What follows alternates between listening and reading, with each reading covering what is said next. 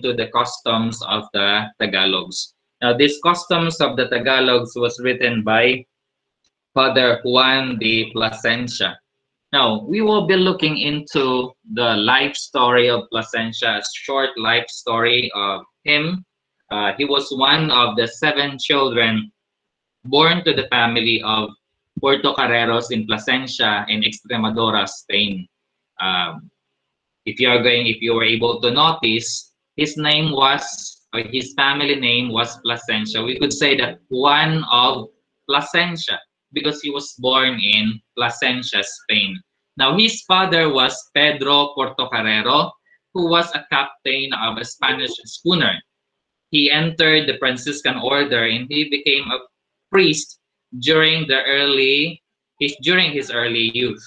If you are going to look into the list of missionaries who came to our country on July 2, 1578, he was named Fray Juan de Portocarrero. Plasencia got a very significant achievement while he was here in the Philippines, among which is that uh, his characteristic wherein he tends to visit areas where the natives dwell by foot.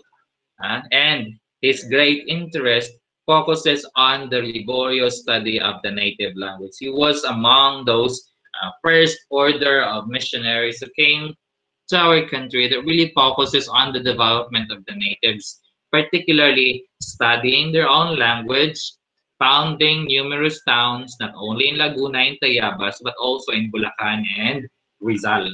Uh, apart from that, among his other works includes the conversion of the natives into the Catholic faith, as well as gathering them into reductions or villages under the special care of the missionaries. You know what? There is a good thing with that particular idea. Uh, he tend to gather all the people into one village, founding a Spanish village. And for the others, it was also a bad thing because for those people who would not go near the village or who would not uh, establish their house or dwellings near the village, uh, they, they are being considered as barbarians. Apart from gathering the natives into villages, he also established numerous primary schools. He was also responsible for forming a grammar and vocabulary texts. He was also credited for several ethnological studies. Now, his dedicated years of hard work converting the natives or into Christianity, teaching them Catholicism or catechism, and organizing towns and barangays ended when he died in 90 at Iloilo, Laguna. But one of his most significant achievement or work was the compilation of the customs and traditions of our ancestors into an essay or into a work which was named Relación de las Costumbres, or what we call the customs of the Tagalogs. In this particular work, he listed the customs of the Indians, uh, which the Indians used to have in the islands, and sent it to the governor and captain general of the country, Santiago de Vera, who was also the president of the Royal Audiencia. Plasencia has many reasons why he did the compilation of the customs of the Indians. But this was uh, this this work of Plasencia was quite exceptional. What makes it ex exceptional? It's because it preserved to the present generation the formerly unwritten customs, traditions, and beliefs of the natives. In his work, we could see the form of government of our ancestors. We could see there how justice is being administered, uh, how slavery occur, or what are the, uh, the, the, things uh, pertaining to slavery, inheritance, how crimes are being punished, and how marriages are being conducted. Now, it was actually the first civil code of the Philippines. Just try to remember, uh, the Spaniards, when they came to our country, they actually, or they do have their own Spanish code or the Spanish civil code. They brought with them the Spanish civil code in governing the natives. However, uh, there were some parts of the Spanish Civil Code that were not applicable to that of the Filipinos. That's why, according to Plasencia, it should be, uh, it should be that this alcaldes mayores and their administration of justice will be guided by the customs of the Tagalogs. Uh, it must be the customs of the Tagalogs that must be followed so that there will be no injustices, uh, so that the, the alcaldes mayores could not commit injustices. Now, in that particular customs of the Tagalogs also, Plasencia tend to describe the unit of government, which is barangay, how it is being ruled by the dato, and the division of the people into three distinct social classes, the Maharlika, the Aliping na mamahay, and the Aliping sa gigilid. Now, this gave the natives the opportunity and this, this indispensable tool to protect and defend themselves in legal cases. Why? As I mentioned a while ago, there were our ancestors has different ways of dealing things. And if they would rely only on the Spanish legal code, then that would, or the Spanish civil code, that would create problem because the natives have their own system. One best example there is that there were, although, although, uh, I mean, one best example that is the, the idea of alipin. Uh, our ancestors doesn't have a single idea of alipin because they have two kinds of alipin. Aliping na mamahay and aliping sa gigilid. Uh, which means that you cannot treat the two slaves or the two kinds of alipin into just one, which the, the alcaldes mayores or some other Spaniards tend to do. Uh, they tend to uh, think that ang aliping na mamahay is the same with aliping sa gigilid. That's why um, Plasencia is giving us or giving those alcaldes mayores an idea of what is the distinction between those two. Now, Plasencia's primary objective when he composed the Relacion was to put an end to some injustices made against the natives by certain government officials. Now, we will be looking into an excerpt of Juan de Plasencia's Relación de las Costumbres. How did Plasencia obtain his information on the Tagalogs? Okay, but before I'm going to proceed to answer that question, the idea of the Tagalogs does not only refer to those people living in Luzon or the Tagalog-speaking people. It means people living on the riverbanks or Taga-Ilog. That's why when Plasencia compiled this uh, this uh, information on the customs of the Tagalog.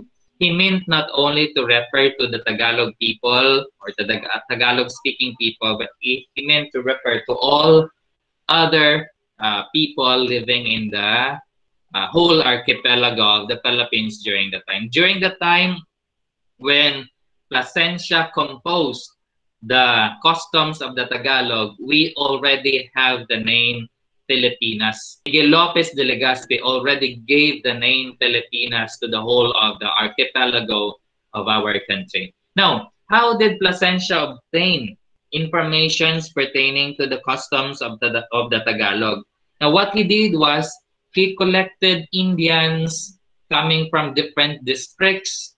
He interviewed or asked those Indians, and out of the answers of those Indians, he collected this information pertaining to the government, administration of justice, inheritance, slaves, and dowries. Now, try to understand, class, that the natives during the time of Plasencia or our ancestors during the time of Plasencia were known or were called as or were being referred to as Indians. Okay? Our ancestors were not known as Filipinos or whatsoever they are known as Indians. We will look into the form of government or the kind of governmental structure that our ancestors during that time or the Indians whom uh, Plasencia referred to has during that time. Now, according to Plasencia, the people always had chiefs. And the chiefs of the people are known as datos or dato. The dato governed the people and he was considered to be the captain in wars. That's why the people need to obey and need to pay reverence to the dato. And any subject who commit any offense against the dato or spoke a word to the wives and children of the dato were being punished severely. Now, some dato ruled uh, a, a, group of people as many as 100 houses, while some dato ruled sometimes even less than 30. Uh, there were there were barangays, the tribal gathering, which we call barangay, was composed of either 100 houses or less than 100 houses, wherein uh, it may be composed of less than 30 houses. Of course, the term barangay comes from a boat called balangay. Now, apart from the dato, the barangay also were composed or was composed of different social classes or there were three castes or social castes that composed the barangay. Uh, they were the nobles, the commoners, and the slaves. Now, the nobles were the freeborn or the maharlika. Uh, they were considered to be the most privileged among the other classes because they did not pay taxes or they did not pay tax or tribute to the dato. They are actually free men. They could do whatever they want because they don't need to pay tax or tribute to the dato. But there's one thing that they need to do, uh, and that is, or that was to accompany the dato in war. They do that at their own expense. But of course, they are always compensated with that because before uh, they go to war, the dato would offer them a feast, and after the war, the dato would divide the spoils among themselves. That's the privilege of the nobles. Now, apart from the nobles, there were also the aliping namamahay. But this were not just an ordinary aliping namamahay. They were considered to be the commoners. The aliping namamahay need to give service to his master. This aliping namamahay could marry. Uh, they need to serve their master. And uh, apart from that, they live in their own houses and they are considered to be lords of their property and gold. Uh, their children inherit the gold or the property that they have, and they enjoy their property and lands. This this kind of situation is in contrast with the aliping sa gigilid. Now, why? Because this aliping sa gigilid were the ones being considered as slaves, or they were the real slaves.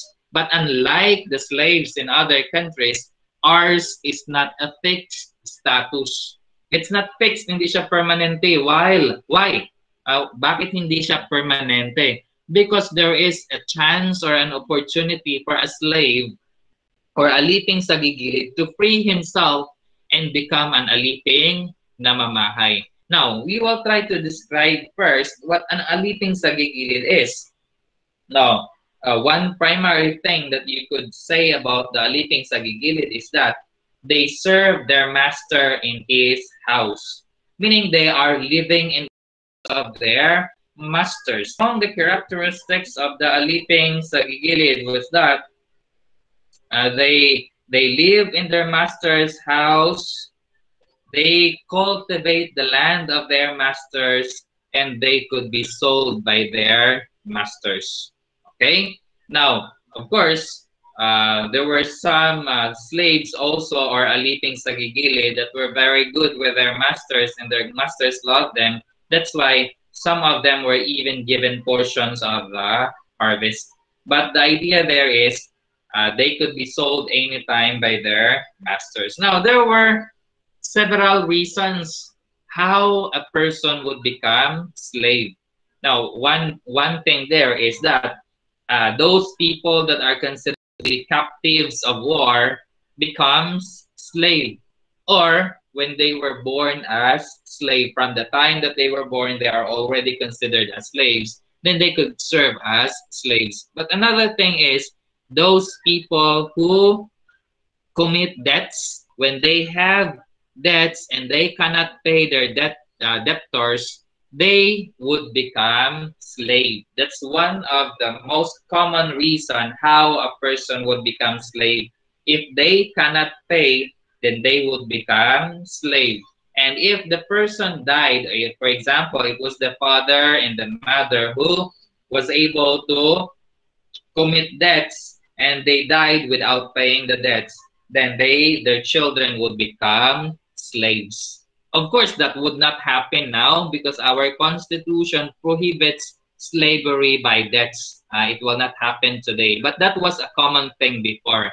The only thing there is, the only good thing there, if we're going to compare that with other societies in the world, if they have the money to pay for the debts, then they could ransom themselves. When they ransom themselves, then they would become an aliping namamahay or what we call commoner. Now that's how a slave or that's how a person will become a slave.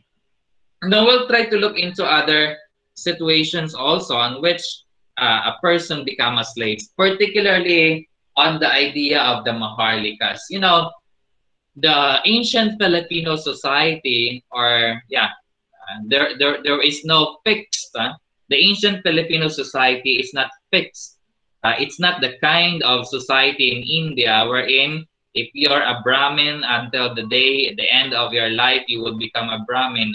But it's not the same with the Philippines. Now, in our case, uh, if there, there were certain instances that a Maharlika could also become a slave. Of course, apart from they will become captives of war someday, the point there is that could happen through marriage. Now, uh, a maharlika who has both the father and the mother side as maharlika would continue to be maharlika forever. Uh, the point there is, if your mother and father are maharlika, forever you would be considered as maharlika. But that would change if one of your parents is a maharlika and the other one is a slave, and that would happen through marriage. If the Maharlikas had children among their, their slaves, there is a tendency that the slave and their mothers would become free. Okay? However, there were certain instances wherein if a, ma- if a father who was a Maharlika has a child with a mother who was a slave of another uh, master, slave woman need to pay her master for the period wherein he could not work. Uh, he's going, she's going to pay the period for her inability to labor during the pregnancy. And if in such case, half of the child was free and the other one was not. Like for example, there was a, uh, a, a Maharlika man who uh, has a child with a slave woman, if the Maharlika man recognizes uh, the child of the slave woman, then the child would become half Maharlika and half slave. But if the Maharlika man did not recognize the child of the slave woman, then the child would become a full slave. Now that is the, the same true also with a Maharlika woman if a Maharlika woman had children with a slave man and the Maharlika woman recognizes the slave man as her husband, then the children would be half slave and half Maharlika. Now, the only the if the slave woman did not recognize the husband, uh, the slave man as a husband, then all the children would be considered as maharlika or free. That would be advantageous on the part of the children uh, if the mother will not recognize her husband nga slave. Now, we go to another situation here. If two persons married, one was maharlika and the other was a slave, the children will be divided. Uh, if a maharlika woman and a, a slave man married each other, the children would be divided. The first child, whether male or female, belonged to the father as well as the third and the fifth, while the second child, the fourth and the sixth, belong to the manor. Now, in this particular case, if the father was a maharlika, then all those children that belongs to him, like the first, the third, and the fifth, were considered to be maharlika, and those who belong to the mother would be considered as slave. What if it was the mother who was the maharlika and it was the father who was the slave? Therefore, if it was the mother who was the maharlika, the second child, the fourth and the sixth child would become maharlika, while the first, the fifth, and the third would become slaves. Now that's the consequence of a parent, or that, that's the, the, the that would happen to the children if their parents were not full maharlika or not full slave. That's why it was mentioned there a while ago that in order for a maharlika to become maharlika forever, then his or her parents should be both maharlika. Okay? Now, we go into how justice and sentences are being rendered. Now, uh, investigations were made and sentences were passed by the dato in the presence of those of his barangay. That's how they render justice in the barangay. If any of the litigants or litigants feel aggrieved, they choose an arbiter coming from another village or barangay. That arbiter may either be a dato or not. Okay, that's how they do. And if they if there are controversies between two chiefs, then what they did was they also uh, seek judgment or judges coming from other barangays. Now, for inheritance, the legitimate children would always inherit equally, except in cases where the father and mother showed slight partiality by giving another uh, child more than what he ought to inherit from the parents. Now, of course, when a child or when a son married uh, a woman, particularly if the son would marry the chief's daughter, then the parents would give their son a dowry in which that son would give that dowry to the parents of the woman. Now, where did the dowry came from? The dowry art actually came from the inheritance of the son, meaning the dowry that the son would give to the, the parents of uh, the woman that he's going to marry actually comes from his own inheritance. And after that, that inheritance will be shared equally or maybe partially among his legitimate children and illegitimate children. And there are, if you're going to read that particular portion, there are certain criteria where or how a particular inheritance will be given to a child who is considered to be legitimate or a child who is not considered to be legitimate or uh, children that comes from the inaasawa or inaasaba. Okay? Now, try to look into this part. Dowries are given by men to the women's parents. That's what I said a while ago. It was actually men who give dowries and they give that not to the women, but they give that to the parents of the women. It's like a form, uh, we cannot say it directly, but it's like a form of payment to the parents for uh, making, for, for, for what? For taking care of the woman. Now, of course, if the parents are living, then they will be enjoying so much of the dowry that was given uh, to them. Now, what would happen if the parents of the woman died? Uh, if the parents died and the dowry was not consumed by the parents, the dowry will be distributed equally among of the parents of the woman. Okay, all of them would benefit from the dowry. Why? Because try to remember, class, that during that period, women are not allowed to own a property, a land, or dowry. All their, all their fruits of labors belongs to their parents. Now, what if?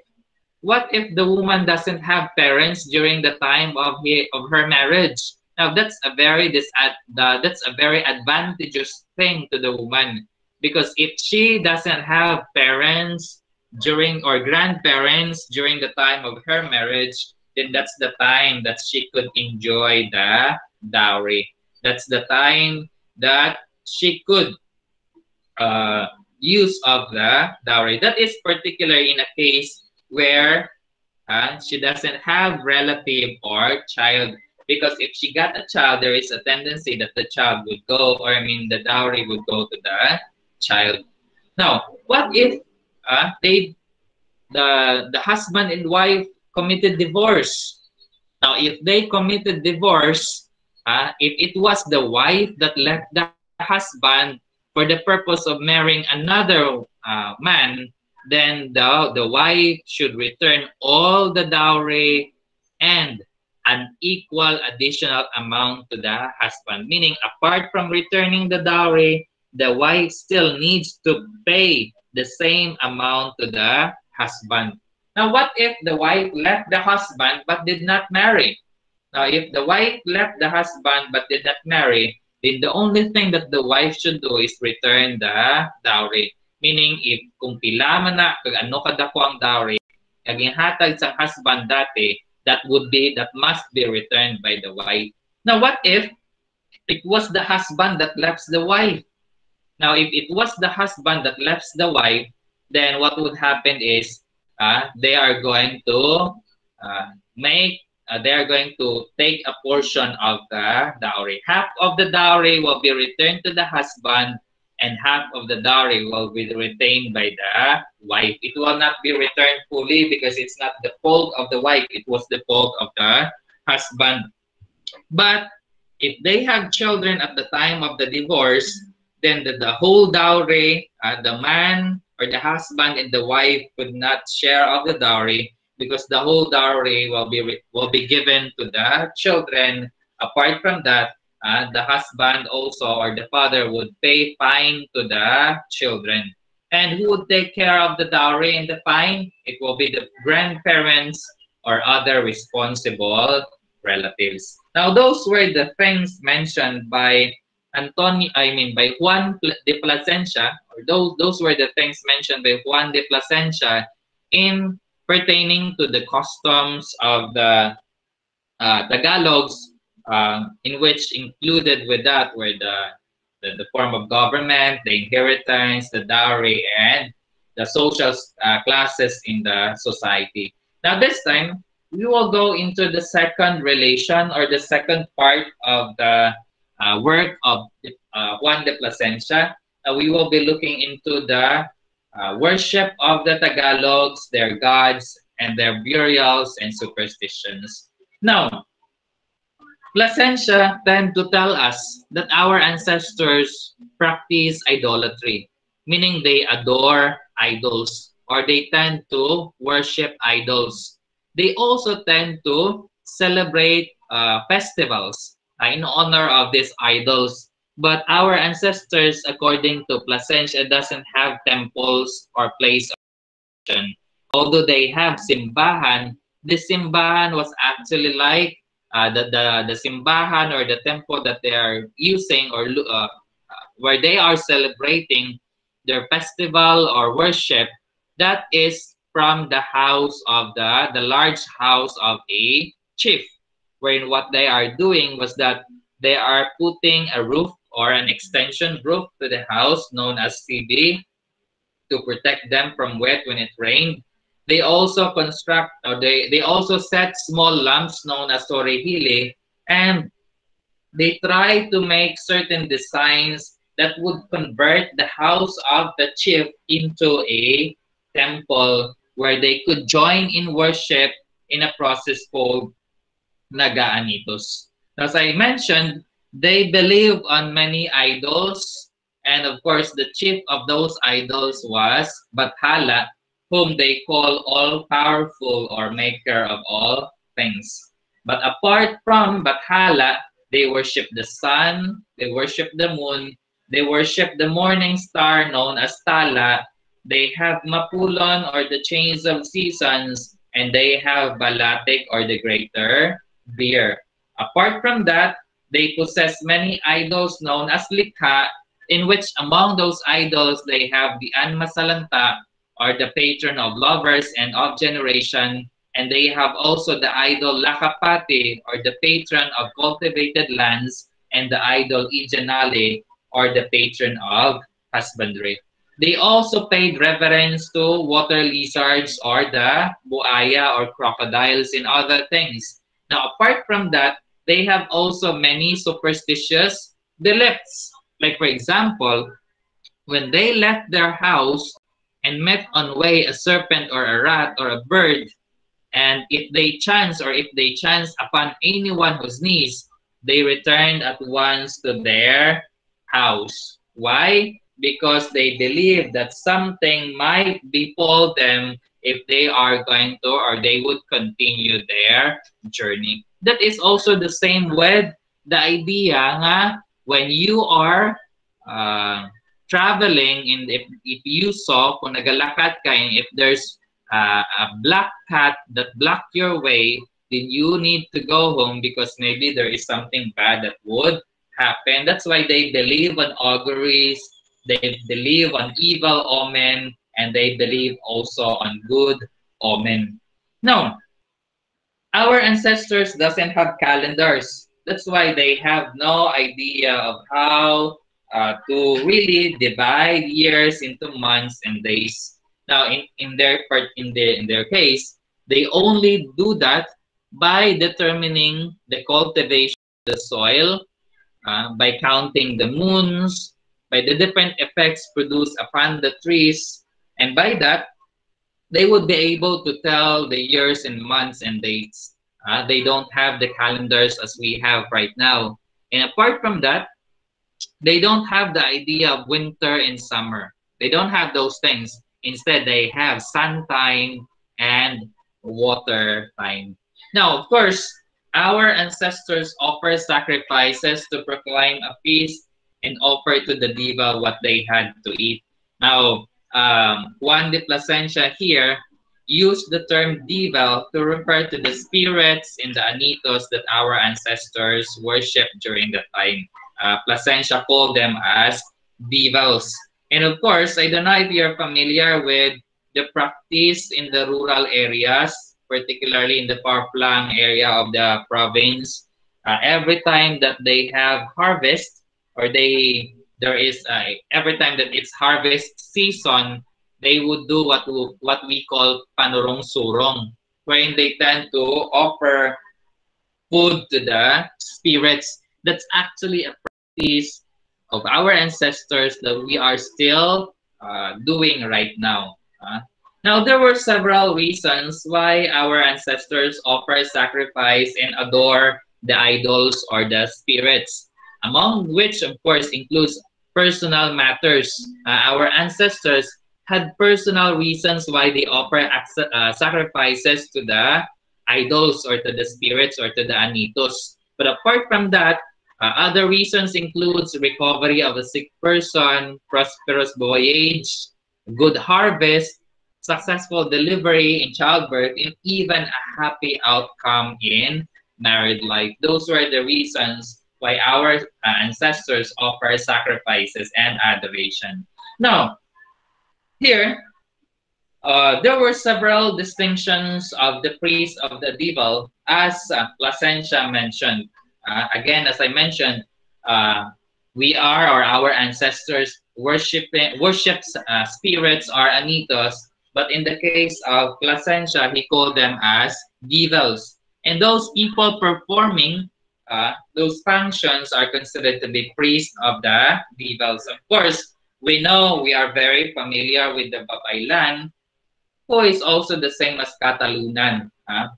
Uh, for, for the Visayan people, we call that as Babaylan, but for the Tagalog people, they refer that uh, they refer to that as Katalunan who was either a man or a woman. But apart from that, Plasencia named other uh, named 11 other priests of the devil, or some of which we are very familiar of that because it's part of our uh, folklores. Like for example, manggagaway, uh, witches. Uh, they are examples of witches. Another example of uh, a witch or the same as manggagaway is a manyisalat. You have their mangkukulam. Uh, I, I'm very sure that you know what what's a mangkukulam is because you have the idea of kulam, di ba? Then we have also Hukluban. Then we have Silagan. Now try to understand class that there some of this uh, uh, priests of the devils according to uh, Plasencia could be found only in one place and could not be found in other places. We have manananggal or magtatanggal. I know you're very familiar with that. Uh, it's a being wherein it uh, uh, his body or uh, a being wherein the body was divided or cut into two, wherein at night it flies.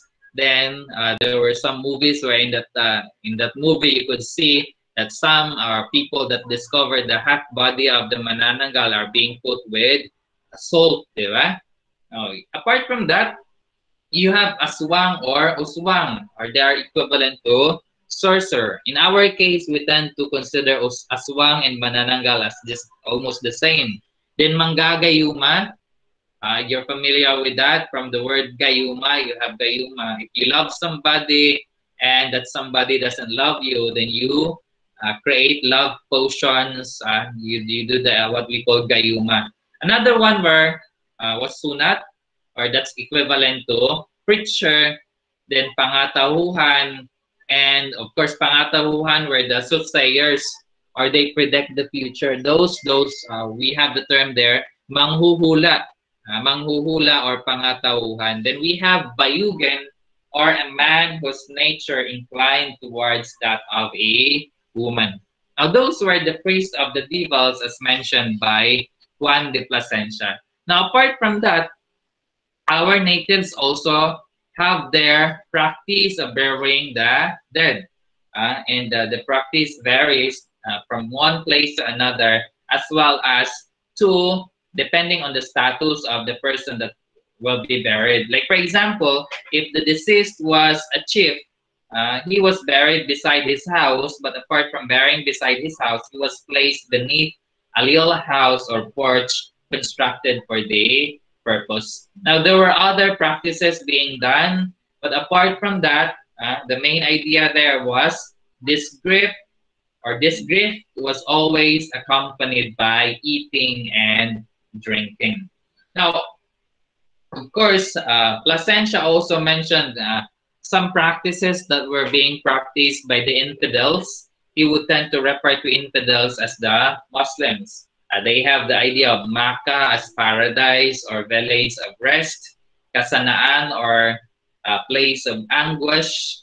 Then they have also the idea of Sitan that, that dwells in the uh, place of Kasanaan. Of course, they have the idea or uh, Plasencia introduced the idea of ghost or vibit, vibit and uh, phantoms or tikbalang and of course, a child that suffered uh, punishment and uh, laments at night, known as anak, or we call that as tianak.